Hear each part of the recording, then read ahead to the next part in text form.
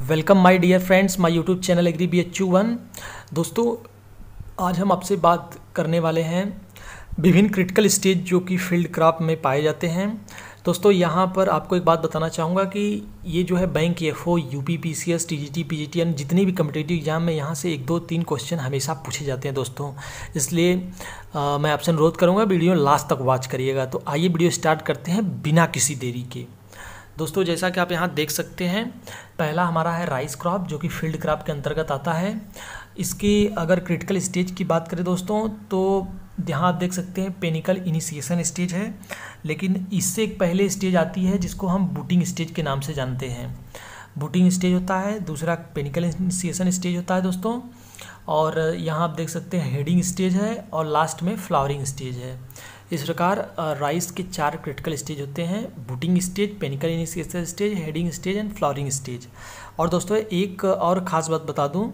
एक होता है I W upon C P ratio जिसमें कि राइस का सबसे अधिक होता है 1.2 ये बहुत ही एग्ज़ाम में हर बार पूछा जाता है दोस्तों। I I W upon C P ratio हमेशा पूछा जाता है। राइस का सबसे ज़्यादा होता है 1.2 दोस्तों, इसको याद रखिएगा। बात करते हैं नेक्स्ट वीट की। तो वीट में जो है आपका लगभग चार से पाँच स्टेज पाए जाते हैं। पहला होता है क्राउन रूट इनिशिएशन स्टेज, दूसरा होता है दोस्तों टिलरिंग स्टेज, और तीसरा होता है ज्वाइंटिंग स्टेज। ज्वाइंटिंग जिसको बोलते हैं, और चौथा होता है फ्लावरिंग स्टेज, पांचवा होता है मिल्किंग स्टेज, एंड छठवां होता है क्रिटिकल स्टेज पाए जाते हैं वीट में। और इसके आई डब्ल्यू पान सी पी रेशियो की बात करें दोस्तों तो इसका होता है ज़ीरो पॉइंट नाइन दोस्तों, ये बहुत ही इंपॉर्टेंट होता है, ये भी एग्ज़ाम में पूछा जाता है।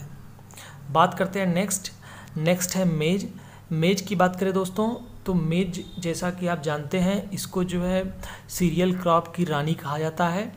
और इसके क्रिटिकल स्टेज की बात करें दोस्तों तो इसके दो क्रिटिकल स्टेज होते हैं, बहुत ही इंपॉर्टेंट टेस्लिंग और ग्रेन फिलिंग स्टेज इस इस स्टेज पे इनको इरिगेशन की ज़्यादा आवश्यकता होती है दोस्तों। इसका भी जो है I W upon C P ratio same wheat के अकॉर्डिंग ही होता है ज़ीरो पॉइंट नाइन और नेक्स्ट क्रॉप की बात करें दोस्तों तो नेक्स्ट है हमारा सोरघम सोरघम की बात करें दोस्तों तो इसके दो क्रिटिकल स्टेज होते हैं। पहला है फ्लावरिंग और दूसरा है ग्रेन फॉर्मेशन स्टेज नेक्स्ट बात करें दोस्तों तो नेक्स्ट है हमारा कुंबा। कुंबा का जो है बात करें तो दोस्तों, ये हेडिंग और फ्लावरिंग इसका जो है बहुत ही बहुत ही महत्वपूर्ण स्टेज होता है इरीगेशन का। और नेक्स्ट है दोस्तों रागी क्रॉप रागी का जो है क्रिटिकल स्टेज की बात करें तो होता है प्रीमॉडियल इनिशिएशन और दूसरा होता है फ्लावरिंग फ्लावरिंग और प्रीमॉडियल इनिशिएशन इसका बहुत ही क्रिटिकल स्टेज होता है इरीगेशन का। अब बात करते हैं दोस्तों ऑयल सीड क्रॉप की, जैसा कि आप यहाँ देख सकते हैं। ऑयल सीड क्रॉप की बात करें दोस्तों तो ऑयल सीड क्रॉप में हमारा है पहला ग्राउंड नट ग्राउंड नट की बात करें दोस्तों तो पहला इसका स्टेज होता है फ्लावरिंग और फ्लावरिंग और दूसरा होता है पेगिंग इन, पेगिंग और तीसरा होता है पेगिंग इनिशिएशन और तीसरा होता है पॉट फिलिंग या पॉट डेवलपमेंट। यानी इस, यहाँ पे आप देख सकते हैं फ्लावरिंग है, दूसरा है पेग इनिशिएशन, तीसरा पेनिट्रेशन एंड पॉट डेवलपमेंट। दोस्तों, ये बहुत ही इंपॉर्टेंट है क्योंकि हमेशा एग्ज़ाम में पूछा जाता है कि पेगिंग स्टेज जो है, किस क्रॉप से रिलेटेड होता है। तो दोस्तों, पेगिंग जो है हमारा ग्राउंडनट से होता है। ये बहुत इंपॉर्टेंट है दोस्तों। ग्राउंडनट में जो है पेकिंग स्टेज पाई जाती है। अब बात करते हैं नेक्स्ट है हमारा सोयाबीन। सोयाबीन की बात करें दोस्तों तो इसमें दो स्टेज पाए जाते हैं ब्लूमिंग और सीड फॉर्मेशन स्टेज जिसमें कि इरिगेशन की बहुत ज़्यादा आवश्यकता पड़ती है। नेक्स्ट बात करें दोस्तों तो नेक्स्ट हमारा है शीशम शीशम में जो है ब्लूमिंग टू मेच्योरिटी स्टेज पे इरिगेशन की बहुत ज़्यादा आवश्यकता पड़ती है। नेक्स्ट की बात करें दोस्तों तो नेक्स्ट है सनफ्लावर सनफ्लावर की बात करें दोस्तों तो सनफ्लावर में क्या होता है कि आपका टू वीक्स बिफोर और टू वीक्स आफ्टर फ्लावरिंग जो है, इसके बहुत ही इंपॉर्टेंट क्रिस्टल स्टेज होते हैं। नेक्स्ट है दोस्तों सैफ फ्लावर सैफ फ्लावर की बात करें तो ये जो होता है from rosette to flowering stage इसके लिए बहुत ही क्रिटिकल होता है।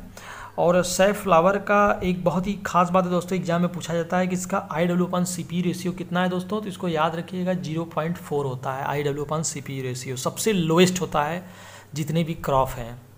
और सबसे हाई होता है, जैसा कि मैंने डिस्कस किया था राइस का सबसे हाई होता है दोस्तों।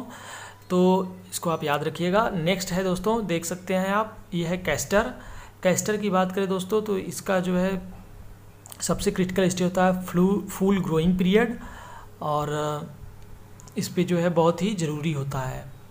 और नेक्स्ट बात करें दोस्तों तो नेक्स्ट है कॉटन कॉटन की बात करें तो फ्लावरिंग और बॉल फॉर्मेशन स्टेज पर जो है इरीगेशन बहुत आवश्यक होता है। और बात करें नेक्स्ट क्रॉप की तो जैसा कि आप यहाँ देख सकते हैं टोबैको है। टोबैको का इमिडिएटली आफ्टर ट्रांसप्लांटिंग पर जो है, इसके लिए बहुत इरीगेशन की आवश्यकता पड़ती है। नेक्स्ट है दोस्तों शुगर केन शुगर की बात शुगर केन की बात करें तो मैक्सिमम वेजिटेटिव स्टेज पे जो है इसमें बहुत ही ज़्यादा आवश्यकता पड़ती है इरीगेशन की। नेक्स्ट क्रॉप क्रॉप की बात करें दोस्तों तो नेक्स्ट है हमारा वेजिटेबल वेजिटेबल की बात करें तो ओनियन ओनियन में जो है bulb mission to maturity stage पर जो है बहुत ज़्यादा इरीगेशन की आवश्यकता पड़ती है। नेक्स्ट है टोमेटो टोमेटो की बात करें दोस्तों तो फ्लावरिंग और फ्रूट सेटिंग वाले टाइम पर ज़्यादा इरीगेशन की आवश्यकता पड़ती है इसमें। नेक्स्ट है दोस्तों चिलीज़ चिलीज़ की बात करें दोस्तों तो फ्लावरिंग स्टेज ही बहुत ही क्रिटिकल स्टेज होता है इसके लिए। और कैबेज की बात करें दोस्तों तो head formation to maturity stage पर जो है इरीगेशन की बहुत ज़्यादा आवश्यकता पड़ती है। नेक्स्ट दोस्तों लेग्यूम्स लेग्यूम्स की बात करें दोस्तों तो पहला उसमें अल्फ़ा अल्फ़ा अल्फ़ा अल्फ़ा की बात करें दो तो इसमें जो है immediately after cutting for hay crop अगर जब हम हे क्रॉप ले लेते हैं तो उसके बाद तुरंत आवश्यकता पड़ती है और साथ ही साथ फ्लावरिंग फॉर सीड क्रॉप जब फ्लावरिंग आता है सीड क्रॉप के लिए तो उस समय जो है अल्फ़ा अल्फ़ा में इरीगेशन की आवश्यकता पड़ती है। बीन्स की बात करें दोस्तों तो फ्लावरिंग और पॉट सेटिंग स्टेज पर जो है इरीगेशन की विशेष आवश्यकता पड़ती है। नेक्स्ट दोस्तों पी पी की बात करें दोस्तों तो इसमें जो है flowering and pod formation stage पर जो है ज़्यादा इरीगेशन की आवश्यकता पड़ती है। और अन्य कुछ इंपॉर्टेंट क्रॉप हैं जिसके हम क्रिटिकल स्टेजों को आपसे डिस्कस करेंगे। पहला है कोकोनट कोकोनट की बात करें तो nursery stage to root in enlargement stage पर जो है बहुत ज़्यादा इरीगेशन की आवश्यकता पड़ती है दोस्तों। बात करते हैं नेक्स्ट नेक्स्ट है पोटैटो पोटैटो पर जो है टूबियर इनिशिएशन और मेच्योरिटी स्टेज पर बहुत ज़्यादा इरीगेशन की आवश्यकता पड़ती है।